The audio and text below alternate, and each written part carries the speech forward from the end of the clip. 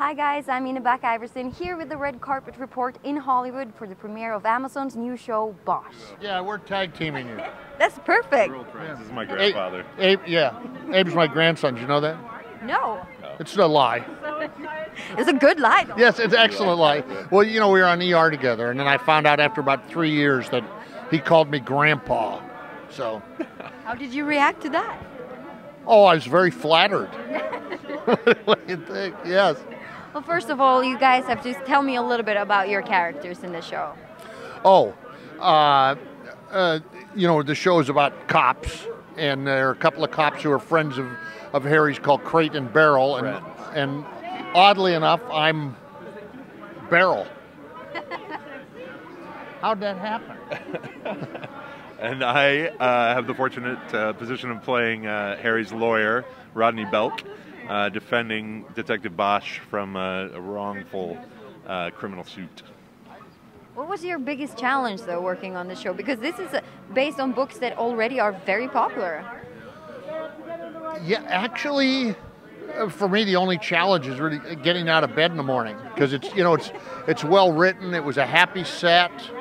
Uh, you know, just show up. We had a good time. At least I had a good time every day. It was it was good. I think the challenge of uh, turning the Bosch novels into a, a television show uh, is pleasing the fans.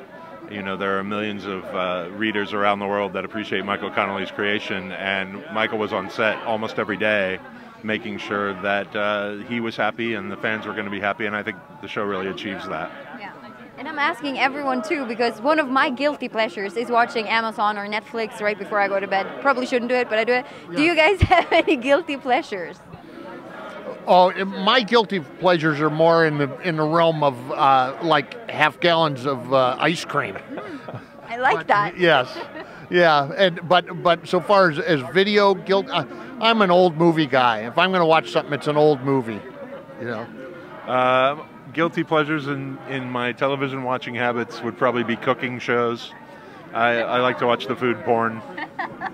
That's a good guilty pleasure. Yes.